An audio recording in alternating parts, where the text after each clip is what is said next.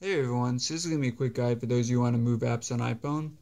Now all you do is you hold down on the app that you want to move for a couple seconds and then let go. So you see here I just held down on Facebook for a couple seconds, I let go and now all the apps are wiggling and they also have X's in the corner. Now you only hit the X if you want to delete the app so I'm not going to do that.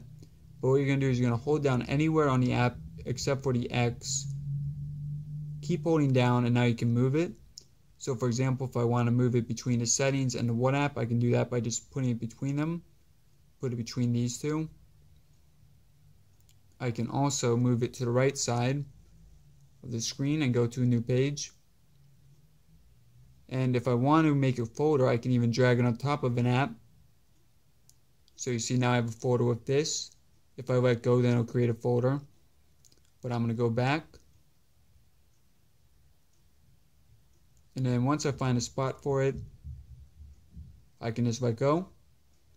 And then you simply hit the home key to return. Alright everyone thanks for watching. I hope that you found this video helpful. And if you have any questions or comments please let me know in the comment section below